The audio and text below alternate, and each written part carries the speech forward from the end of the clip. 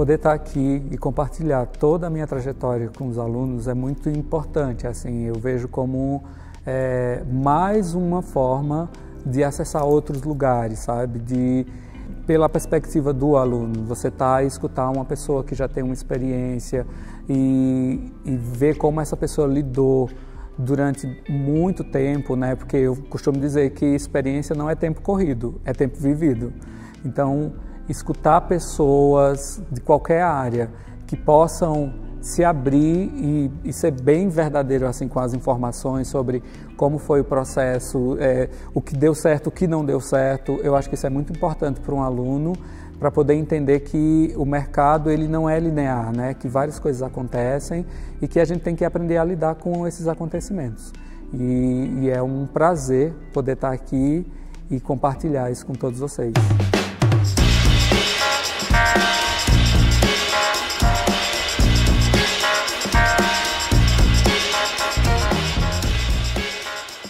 Eu, como professora da área de moda, eu acho fundamental a gente trazer alguém que esteja no mercado para agregar conhecimento para os nossos alunos, trazendo a vivência dele, porque ele também foi um aluno, ele percorreu esse caminho e aí assim demonstrar esses casos de sucesso ou mesmo os fracassos, quais foram os caminhos percorridos para ele chegar até esse momento. Então eu acho vital a gente trazer esse profissional para conversar com os nossos alunos e trocar essa experiência.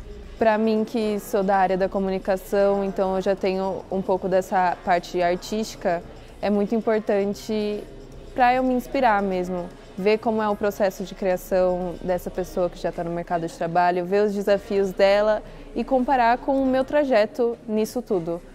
Ajuda a resolver problemas é, que já estamos enfrentando e se preparar para problemas futuros. Então, assim, é perfeito, eu acho que é necessário, com certeza.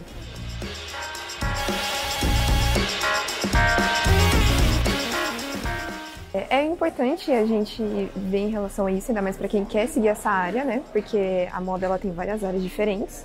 É muito interessante que ele sempre tenta trazer essa história. Ele sempre traz isso da da vida dele, igual ele comentou sobre os retalhos que a mãe dele comprava e mexia com aquilo.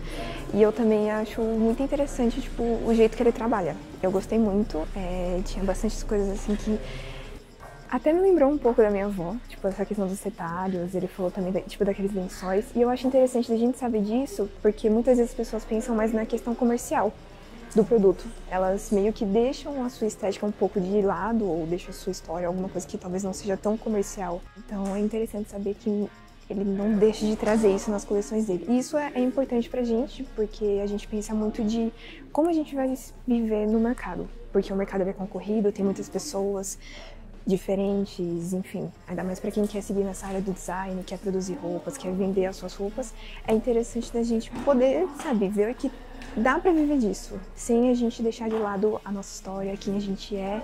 É isso, eu acho.